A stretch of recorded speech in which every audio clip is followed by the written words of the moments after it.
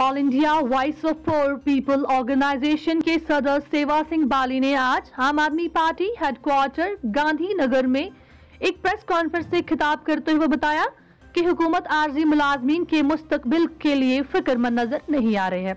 इन्होंने बताया कि जम्मू कश्मीर में मुख्तलिफ़ महकमों में तैनात आरजी मुलाजमीन दिन रात मेहनत करके अपने फराइज अंजाम दे रहे हैं। ताम हुकूमत को चाहिए कि इन मुलाजमीन को मुस्तकिल करने के अहकाम सादिर करे। ताकि ये लोग भी अपने अहलो अयाल समेत सुकून की ज़िंदगी गुजार सके। पेश है हमारे नुमाइंदे सजाद चौपान की ये रिपोर्ट। हमारे पास स्टेट डिपार्टमेंट का यहाँ पर आया था, जिसमें 25-25 साल उनकी सर्विस हो गई है, जो डेली वेजर्स काम कर रहे हैं।